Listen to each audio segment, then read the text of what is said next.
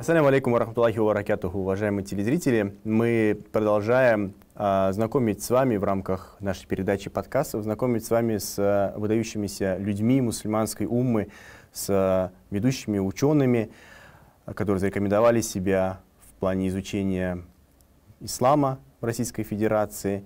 И сегодня у нас в гостях Асият Магомедовна Бутаева, доктор философских наук, профессор кафедры теологии и социально-гуманитарных дисциплин Дагестанского гуманитарного института.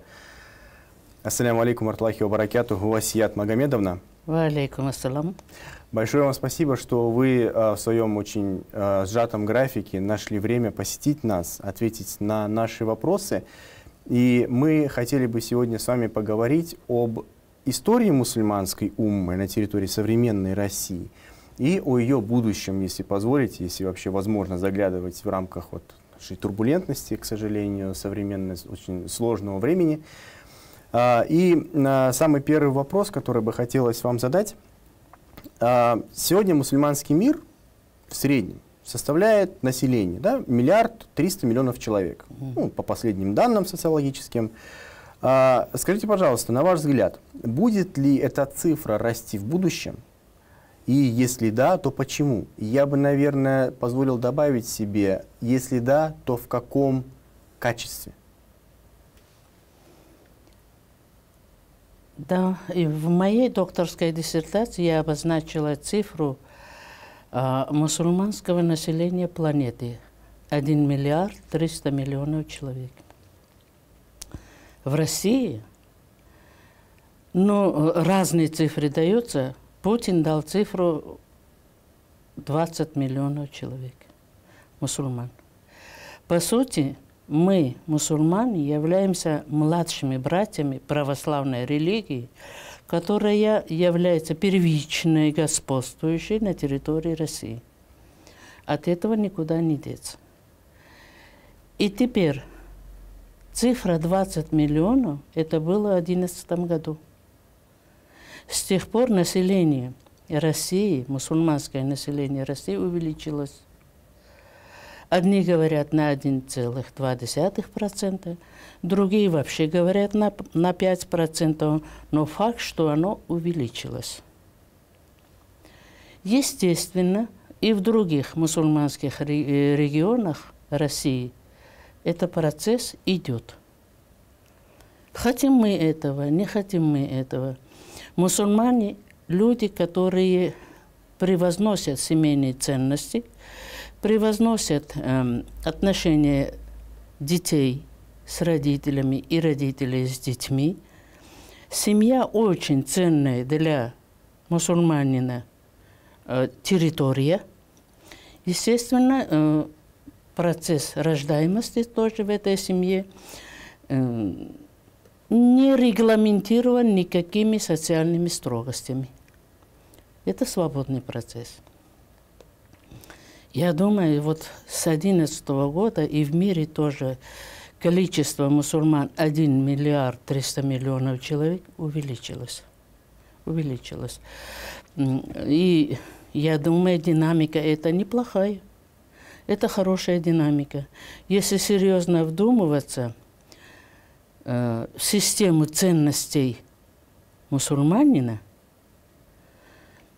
систему его ценностных ориентаций, как он себя ведет в обществе, как он себя контролирует в обществе, как он себя ведет в семье, то э, это очень соблазнительное для других вероисповеданий пространство. Поэтому прозелитизм, переход из одной веры в другую, в мусульманстве, исламе, он идет и процветает. Вот я так думаю. А, по поводу увеличения, а, как вам кажется, увеличение а, будет больше количественным или же качественным? Вы знаете, после 1985 года ислам стал возрождаться на территории России и в ее мусульманских регионах. Возрождение ислама шло вначале количественное. Строились мечети, закрывались школы. Строились медресы, закрывались садики. Вы понимаете? В социальном плане человек и э, его социальные потребности ущемлялись, а территории для богослужения, вероисповедания увеличивались. И вот в один момент, например, э, вот пришло понимание, что количество не соответствует качеству. И тут бросились восстанавливать вот пропущенный вот этот момент восстановления качественного содержания исламских богослужителей. Что для этого нужно? Знания. А какие знания? Знания, которые были нашими традиционными ценностями. Это история, это историческая память, это обращенность к прошлому. Ведь после 17 года, особенно после 24 года, качественная составляющая вот этого э, э, знания его подхода к исламу, она уже исчезла. Были расстреляны или высланы в цирку все зна, э, знаменитые богослужители. Вот над этими вещами сегодня стоит очень серьезно подумать. Если мы хотим патриотизм и среди молодежи, если мы хотим, чтобы молодежь любила Родину и готова была отстоять ценности своей Родины, мы должны исходить из исторической памяти этого народа, этих людей. А как же – как же, если ты не любишь тропинку к селу своему, если ты не любишь маленький чахлый родник своего села, если ты не представляешь свою гору, которая перед домом, что ты будешь любить? Вот это и есть историческая память. Она очень тесно связана с верой. Понимаете? Вот с той верой, которая у нас в душе. Если мы любим материальные любим природу, любим окружающий материальный мир разумом, то свое мировоззрение, свои мысли, свою историческую память мы любим сердцем. Здесь это все должно быть. Асет Магомедовна, а коль уж скоро мы заговорили про а, историю ислама на территории Дагестана, Кавказа в целом, наверное, а если уж говорить больше, то территории Российской Федерации да. современной, я хотел бы задать вам вот какой вопрос исторического плана. Этот год в России а, ознаменован а, тысячестолетием принятия ислама в Волжской Булгарии. Да. да? Ровно 1100 лет назад наши предки татар приняли ислам на государственном уровне. И мы это все дело отмечаем очень широко, масштабно, очень много было сделано в рамках этого года, очень много еще предстоит сделать. Но известно, что на территорию современной России, если говорить про территорию современной России, ислам пришел еще раньше. Это Дербент, угу. это сахабы, сподвижники пророка Мухаммада, алейхиссалату да. Но, к сожалению, к сожалению, широкого распространения ислам тогда не получил. Вот скажите, расскажите, пожалуйста, про этот период. И особенно интересно вот какой момент. А, кавказцы и дагестанцы исторически исповедуют а, ислам шафиитского толка. То есть право мусульманское, фикх, юриспруденция шафиитская. Но подвижники, которые приходили, пророк Мухаммад алейхиссалату они не были шафиитами.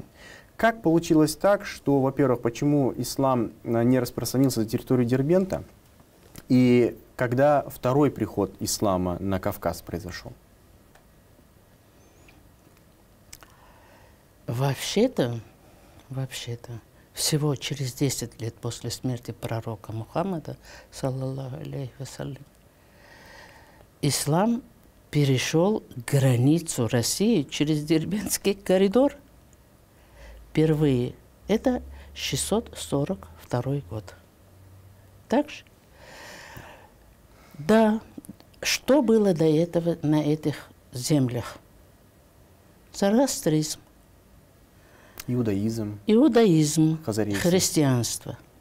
Понимаете?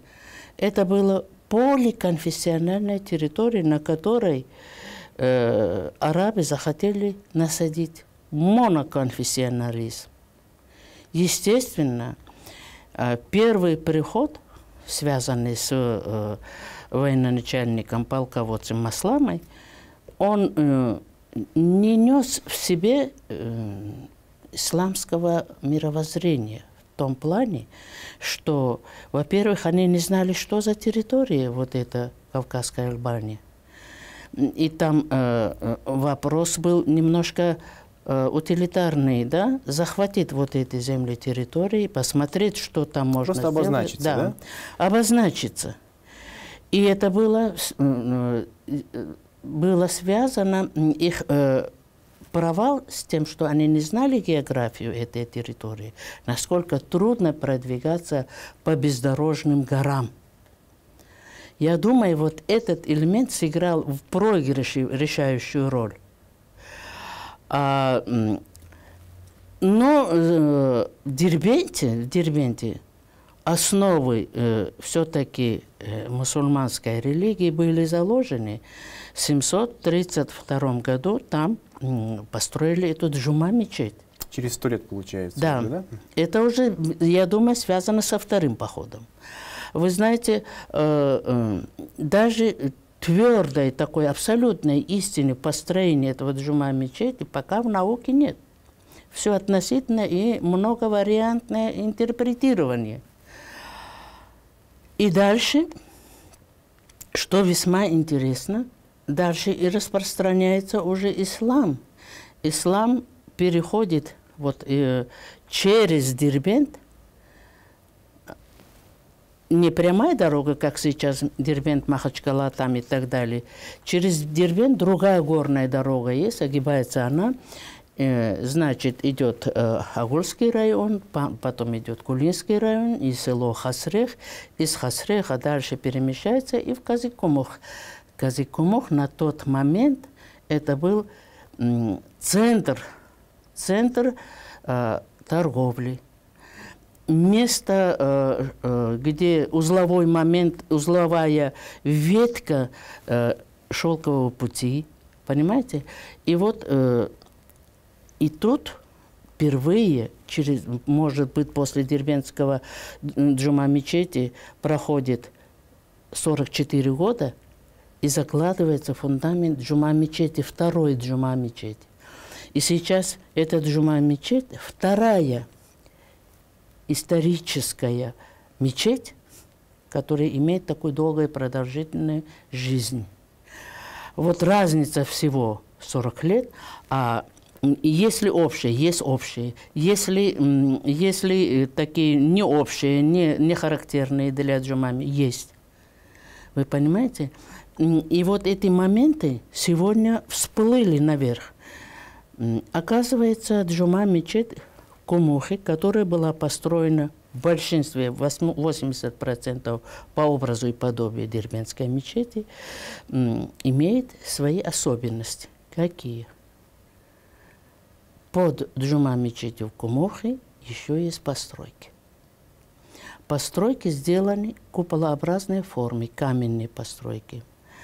А общий объем каждой постройки там – ту, той, которой нашли, где-то 5-6 квадратных метров. Предназначение этого неизвестно. Ни одна мечеть на территории России не имеет вот такого аналога. Что это? Вот с чем связано это? Предположение сколько хочешь. Я думаю, вот особенность распространения в горных районах Дагестана ислама имели свои какие-то специфические такие черты. Понимаете? Когда, когда допустим, э, вместе э, с э, исламским вероучением людей собрали, объяснили, что за вероучение. Там были богословы, известные, неизвестные люди, которые этим занимались, обращались к населению – у них было, помимо всего того, что э, они должны делать, обращение к одежде. Вы должны белое одевать. Кипенно белая одежда должна быть у мусульманина. Это же неприемлемо для горных людей. Они работяги, они в поле работают, они животными. И вот тогда выходит вперед один аксакал и говорит, мы согласны со всем, что вы хотите нам сказать и что вы говорите – Но единственное, мы не можем белые одевать. Разрешите нам нести нашу веру, исламскую веру, в той одежде, к которой мы привыкли. Понимаете?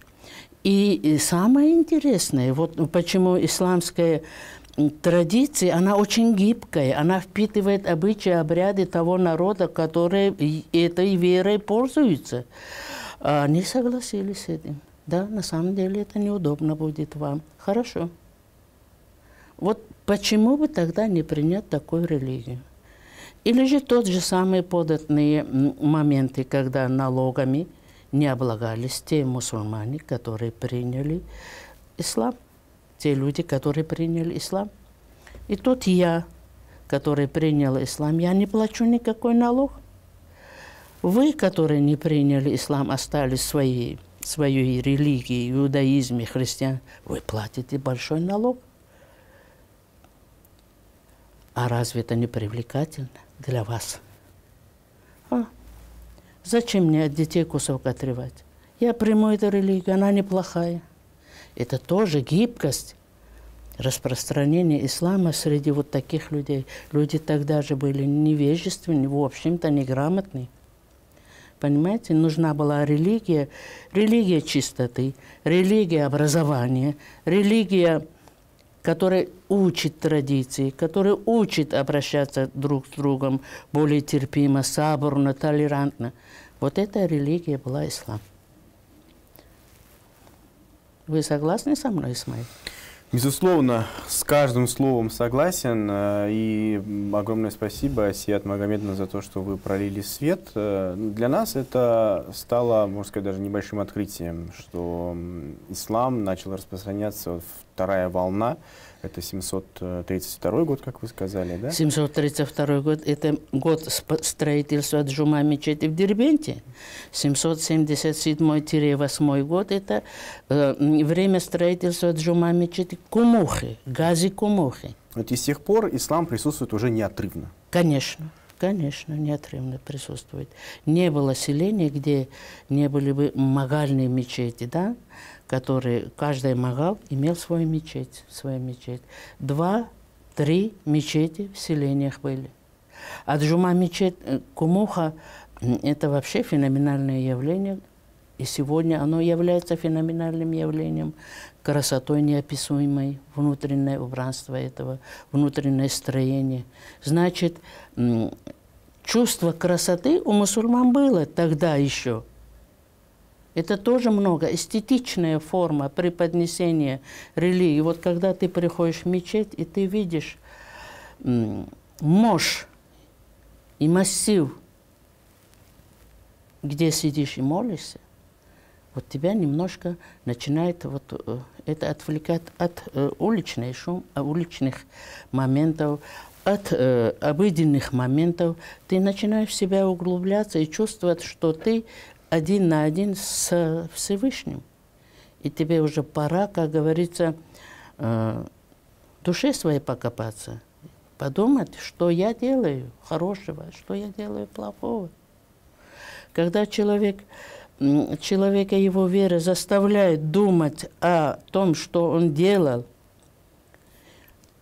из них выбирать хорошее, отделять плохое, тогда начинается вот тот самый процесс просветительства. Понимаете? Человека просвещает его религия, его вера и его учителя, те самые шейхи, которые могут тебе объяснить любую м, непонятную вещь в твоей жизни, в жизни с другой, в жизни потусторонней или этой, на этой, э, в этой жизни. Это много значит. Вы рассказали о проникновении распространении ислама э, на землях лакцев. Да, это про лаки уже мы с вами да, говорили. Да, да. А, но, как известно, на территории современного Дагестана проживает огромное количество различных национальностей. А дальнейшая его история была какова? Как познакомились с исламом, например, аварцы, даргинцы? А вы знаете, э, вот э, в литературе, исторической литературе я читала, что первыми ислам приняли те районы, которые были, были ближе к Дербенту. Ну, это логично. Да, это э, Агульский район, это лакс, лакцы, которые приняли, это сами юждаговские, там, цахурцы и так далее, они приняли. Э, высокогорные аварские, даргинские районы позже всех приняли ислам. Ничего в этом удивительного нет. Ислам, чтобы туда пробраться, должен был много трудностей преодолеть такого географического характера. Вот. И первые миссионеры, которые пришли распространять исламское вероучение, арабские миссионеры, ну вот, например, Мухаммад Ямани из Йемена, поэтому его Ямани – человек, который э, был во многих странах, пока дошел до Лаки, он же не пошел дальше к аварцам, не пошел дальше к даргинцам. Он остался в Казикумухе, женился там на лачке, имел детей. И не очень старый умер от чумы. В общем-то, его половина семьи погибла. И сейчас его могила, зиярат, понимаете? Ну а дальше, дальше процесс распространения ислама, это было делом времени. Ну, например, если вы возьмете, я возьму свое село, из трех мечетей моего села, Силовачи, ни одно не осталось. Я выросла в селении, где э, люди не знают, что такое мечеть. Я не знала, что такое мечеть. Вот в процесс возрождения ислама пошел, и э, мечеть построили в моем селе. Мечеть пустовал. Никто не ходил молиться. Не было там человека, который азан бы прокричал. А азан, э, к вашему сведению, Исмаил, азан – это лицо нашей религии. Он должен красиво звучать. Он должен быть идеально вот, воспринимаем людьми. И мы должны восхищаться этим, да? А у нас этого не было. Сейчас, слава Богу, наш э, муфти Ахмад Хаджи э, Абдуллаев и это вопрос решил. Он в наше Лакское село послал аварцев имамами мечети. Отремонтировали после этих нескольких лет мечеть. Дали жизнь. Там азан очень красивый у нас – вы понимаете? Это маленькая деталь, можно мимо пройти и не заметить. Но лучше заметить. И везде так. Везде так. Ну... Расскажите, пожалуйста, Асият Магомедовна, про советский период. А, ну, что мы знаем из советского периода в, на территории Большого Союза, скажем так, да? В Москве была, работала соборная мечеть, у нас здесь в Казани работала первая соборная мечеть Марджани. А в Дагестане как дело обстояло с исламом в Советском Союзе? В Дагестане, к сожалению, при советской власти я не могу похвастаться, что были такие моменты, когда люди вот, вот, могли свободно помолиться, да, Насколько, я сама не встречалась, но э, в обществе тогда, когда я еще была молодой, поговаривали, что какой-то член партии, который там руководящий должен занимать. Вот его осудили за то, что поймали, где он там за кулисами своего кабинета молился.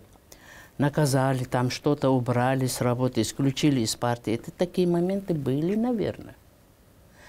Были, наверное. Это был советский период.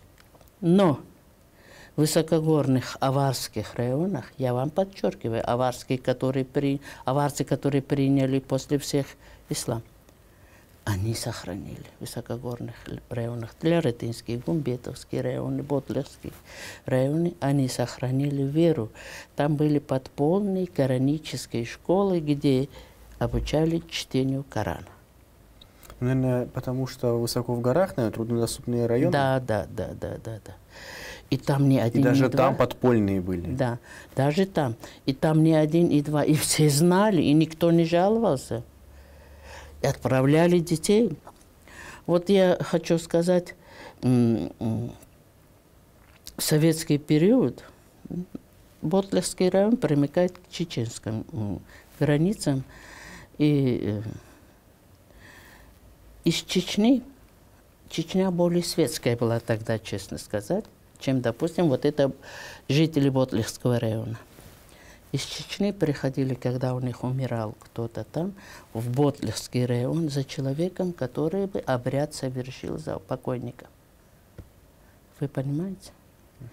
Даже будучи светской, эти ритуальные практики, они существовали здесь у людей.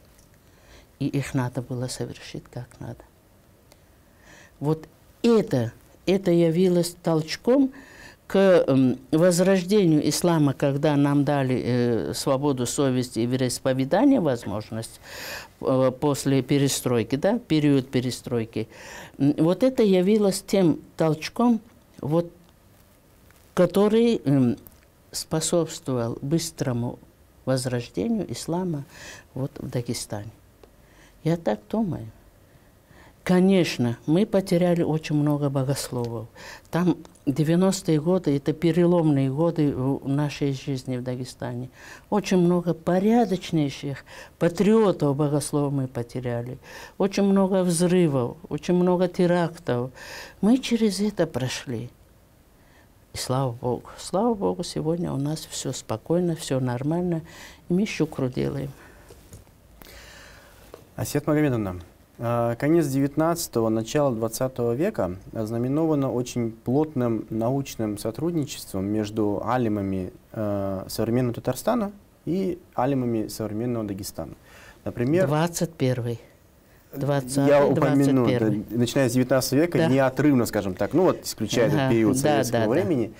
Да. Конкретно можно привести пример. Занула Ишан Расулев. Да. Он был духовным учителем Габдурахман Расулев, ваш. А, да, это его сын. А, он был духовным учителем а, Сайфула Хади Башларова. Башларова. Башларова. Затем Махмуд Афанди Аль-Мали, дагестанский да, шейх, да, был да, духовным наставником Закир Ишана Чистави. Чистави были. А, в наше время а, Камиль Хазрат Самигулин был инициатором перевода на русский язык книги а, Зиаудина Дахистани. Угу. Зудат аль-Бухари, это сборник, сокращенный да, да, сборник да, да. хадисов э, имама аль-Бухари. И презентация была, была в Дагестане, нас, да. в Махачкале, да. Э, скажите, пожалуйста, на ваш взгляд, вот подобного рода взаимодействие на духовном поприще между представителями нашего народа и представителями вашего народа, насколько это полезно? Есть ли у такого рода взаимодействия и сотрудничества, скажем так, сейчас целевая аудитория? Вы знаете, ваш муфти Камиль Хазрат Самигуллин человек молодой, амбициозный. Ему не чужды современные модернистские взгляды этого мира. И он прав. Вы понимаете? И он прав. Как это так? Ты не можешь в архаичном мировоззре... с архаичным мировоззрением в современном мире жить. Твоя вера, твои вероубеждения, они основаны на Коране и Сунне. Коран и Сунна – это абсолютная истина. Но ты живешь в материальном мире этого современного мира. И ты, придерживаясь, вот, допустим, толерантных отношений современного мира, ты схож, похож Э, в отношениях веры, вероучения с теми людьми, которые живут в другой республике. Как может быть это плохо быть? Вот такое сотрудничество, вот такое взаимопонимание и поддержка друг друга вот, в вопросах не только веры, в вопросах социального быта, в вопросах, допустим, молодежной политики, они должны быть. Асет Магомедовна, а вы одним вопросом ранее затронули очень печальную, к сожалению, тему, которая имела место быть, к сожалению, это на разгул бандитизма.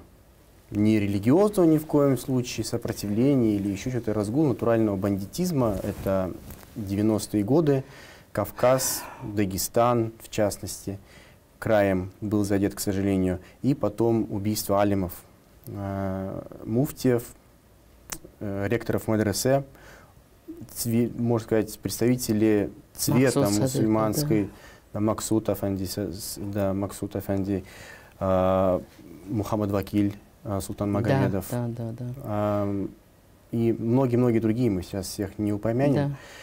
А, скажите, пожалуйста, вот, вот эти вот печальные события, они как-то повлияли на то, как сейчас, э, особенно нашей стране, относится к исламу за рубежом?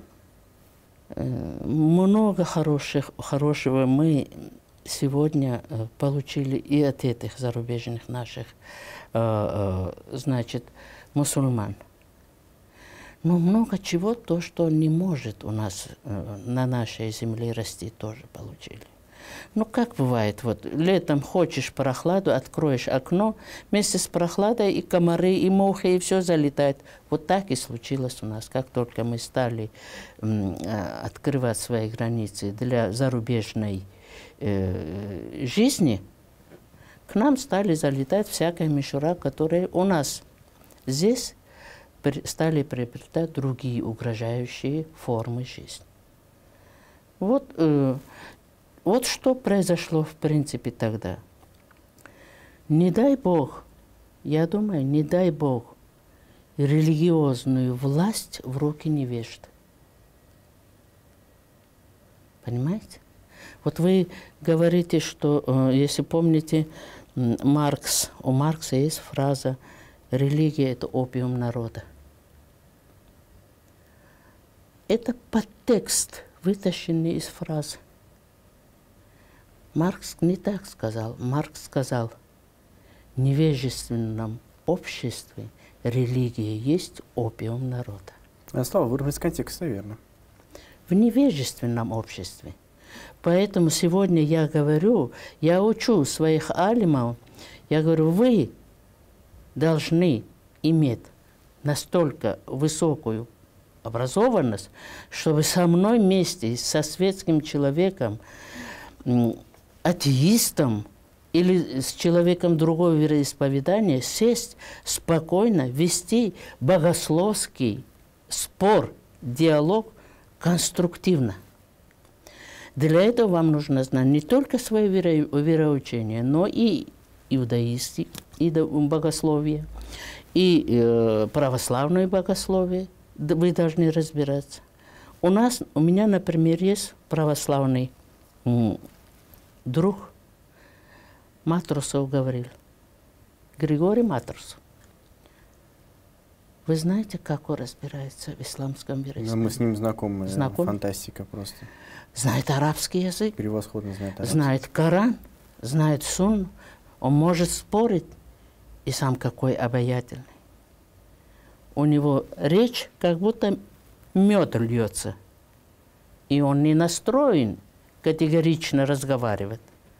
Вот так надо учиться общаться. Современному богослову в этом мире требования очень высокие. Насчет образования, насчет знания, насчет жизни его бытования. Это наша задача, их такими делать. Ну и на этой жизнеутверждающей ноте а, я позволю себе, к сожалению, большому сожалению, закончить нашу передачу. У нас время вышло. Я надеюсь, что мы с вами еще раз встретимся и, может быть, поговорим, иншаллах, а, более обстоятельно. А, Большое вам спасибо, Асият Магомедовна, за то, что нашли время, пришли, ответили на наши вопросы. А у нас в гостях была Бутаева Асият Магомедовна, доктор философских наук, профессор кафедры теологии и социально-гуманитарной дисциплины Дагестанского гуманитарного института. Большое вам спасибо, уважаемые телезрители, и до новых встреч. Ассаляму алейкум ва рахматуллахи ва баракатуху.